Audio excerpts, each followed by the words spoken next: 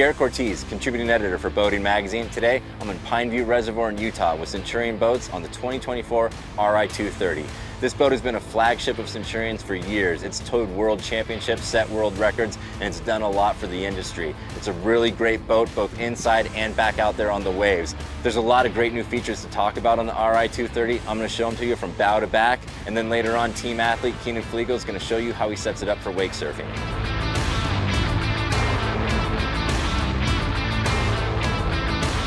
Up here in the bow of the RI-230, you've got plenty of room for a couple of adults to chill really comfortably, especially when you add this center cushion and make it a playpen area. Brand new, you've got armrests on each side, you've got new stitching, you've got that Spradling vinyl interior that's not only durable, but really comfortable to sit on. You've also got cup holders, speakers to keep you entertained, and some ports to keep your stuff charged. Sitting here inside the RI-230, you can see there's plenty of space to fit a lot of people and all their gear. Underneath each seat, you've got storage for bags, whatever else everybody's bringing. You've also got really nice interior. It's Spradling vinyl, it's durable and comfortable, along with the new stitching that you see in the RI-230. I also like that on each side, you've got pop-up backrest to customize the seating, and this rear bench can slide into the cockpit face aft so everybody can have fun watching the action on the water. Up above, you've got the drop zone tower. With a push of a button, it can fold flat, make it really easy to store or to get through a low clearance bridge.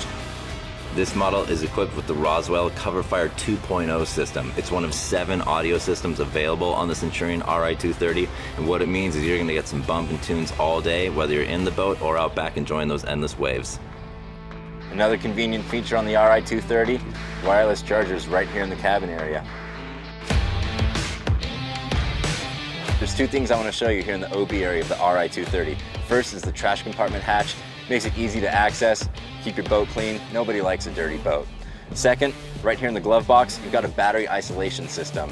You can literally pick which battery you want the boat to be running and isolate it from the other, or you can have them working together.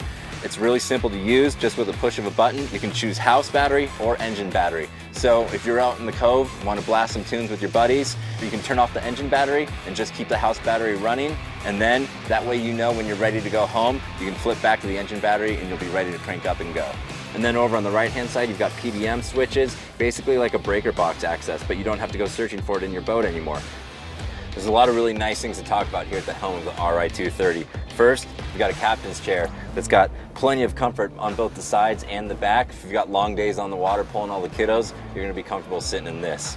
Up front, you've got Centurion's Revo side-by-side touchscreens. You can customize them to show whatever you want. With a push of a finger, you can access basically anything in the boat and change it. On one other screen, you can pull up your fuel flow, which I really like to see as the captain. I wanna know how much fuel I'm burning, how much range I have left before I need to go fill up. And you've also got a wireless cell phone charger to keep your phone going right here within reach. And you've got an easy to reach head unit by wet sounds. So if you need to turn down the volume quickly, talk to somebody in the water, you can do that. I also really like that you've got cameras both front and back for putting a boat like this on a trailer or turning on the back cam, see who's floating back there, help with any of the wake surfers that are riding the endless waves. Here at the transom of the RI-230, my favorite thing are these flip-up backrests. It turns the back of the boat into just a really cool lounge area. So if you're tied up with some other boats or beach and letting the kids swim, you can sit back here and chill. You got cup holders to hold your drinks, got a locker for extra stuff. It's also got an extra ballast bag for juicing up that wave.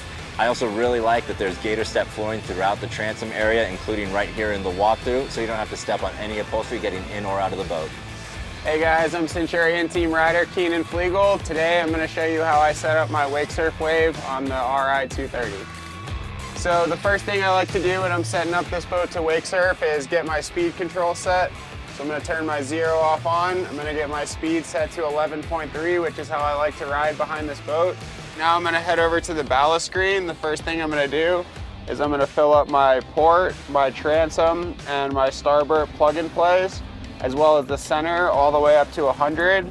I'm gonna add 40% to the bow and then we're gonna get underway and we're gonna fill up our ram fills.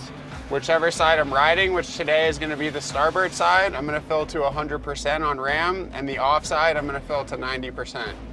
So now we've got all of our ballast filling, I'm gonna head over to the surf screen so I can activate the quick surf.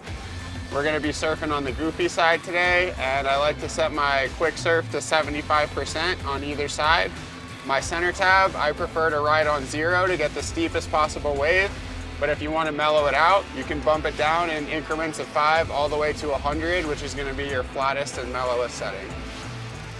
From its killer looks to its killer waves, the RI-230 hits every nail on the head for what you might be looking for in a wake sports boat.